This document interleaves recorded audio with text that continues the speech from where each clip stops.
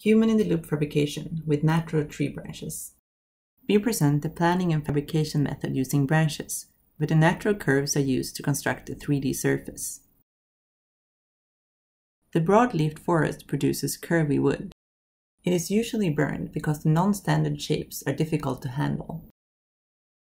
Our method makes it possible to build something from this wood. Branches are trimmed down to a manageable length. A marker cube is attached to the end of each branch to track its posture during fabrication. Each branch is scanned. The shapes are analyzed, extracting skeleton and radii. Then a user designs an input surface. The system creates a reciprocal pattern of target curves.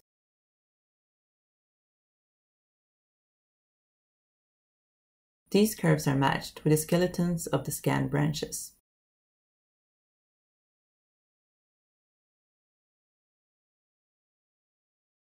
Here are some results with other input surfaces.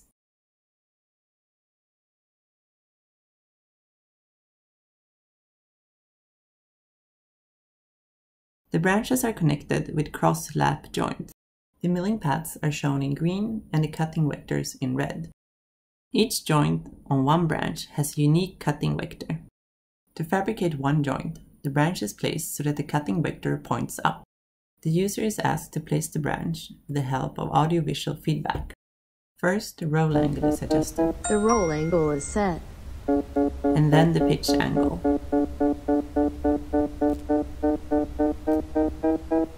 The pitch angle is set.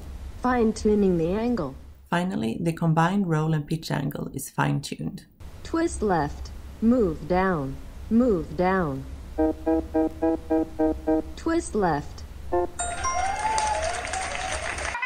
So, to fabricate one joint, the user positions the branch and fixes it in a vise. The milling bit moves to the virtual joint center. The user adjusts the position with the joystick while observing the branch.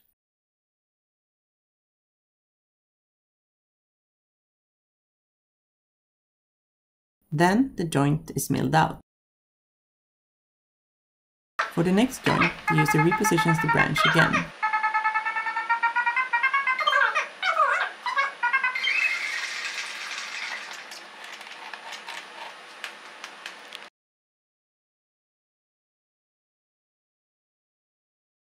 The same calibration is performed for the next joint center.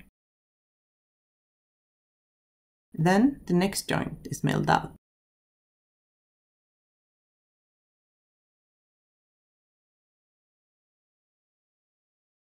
The branches are assembled by hand.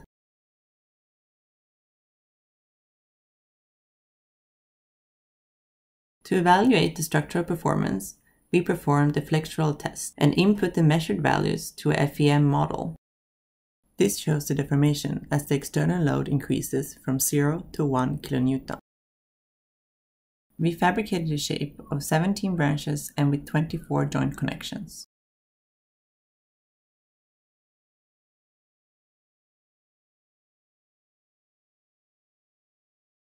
This shows a scan of the fabricated structure overlapped with a 3D model.